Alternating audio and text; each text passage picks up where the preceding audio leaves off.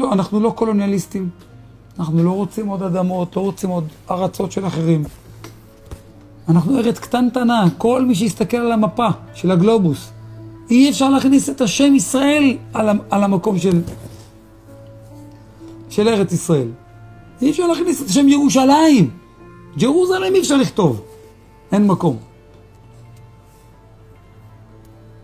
וגם מזה רוצים לקחת לנו עוד חתיכה ועוד חתיכה, ואת הגולן, ויהודה ושומרון, ואת עזה לקחו לנו כבר.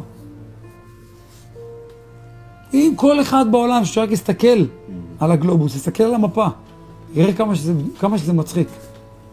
כמה שזה מצחיק. שלכל, לערבים יש פה מסביב מדינות ענק, ענק. וזהו, ותודה רבה רבה רבה לכם, באמת, יישר כוח ענק. ותמשיכו כך, תמשיכו כך.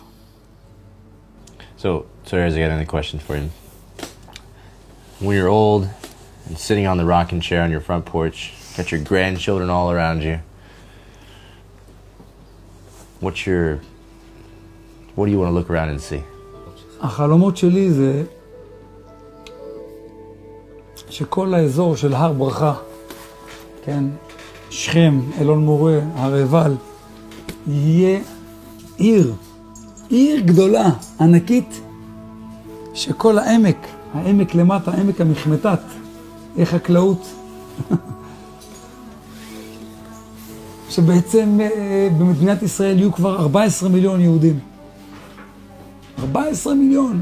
אם לא יותר אולי עד אז זה כבר יכול להיות גם כן 20 מיליון יהודים. ובעזרת השם ש... ש... ש... ש...